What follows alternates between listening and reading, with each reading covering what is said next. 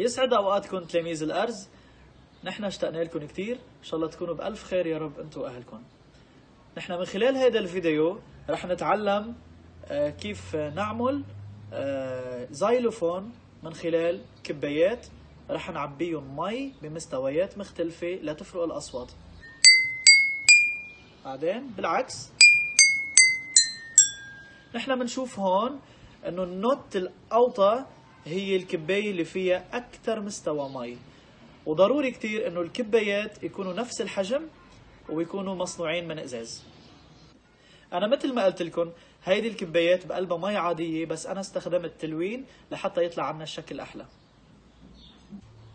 نحن هلأ رح نسمع مقطوعة موسيقية على هيدا الزيلوفون.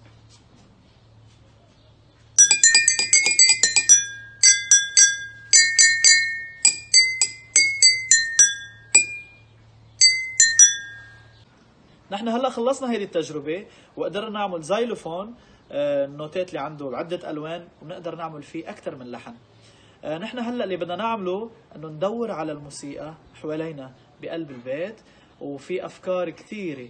يعني نحن بنقدر نعمل الدرامز من خلال طناجر ونضرب عليها بملاعق أو شيء نحن بنقدر نعمل آه، من خلال قنينه أو كباية.